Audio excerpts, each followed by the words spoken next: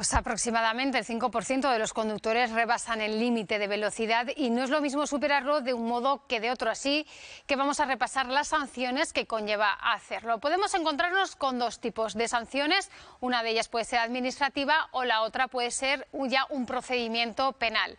La primera se aplica cuando superamos el límite en hasta 59 kilómetros por hora. En ese caso, la sanción es de dos, de cuatro o de seis puntos. Ello varía en función de la gravedad. ¿Y qué ocurre cuando circulamos a 60 kilómetros o más por encima de lo permitido? Pues en este caso, por ejemplo, nos enfrentamos ya, nos podríamos enfrentar ya a un procedimiento penal. Por ejemplo, ir a 90 en una vía de 30, en este caso lo que ocurriría es que se abre un expediente penal y podemos estar hablando ya de entre uno y cuatro años sin carne.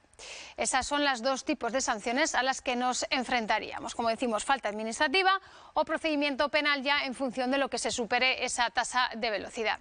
Precisamente en Huesca, un conductor de 52 años y vecino de La Hoya de Huesca está siendo investigado por conducir cuando ya le habían retirado el permiso de conducción. Tras declarar en la sede policial, volvió a coger y volvió a conducir ese vehículo. Sara.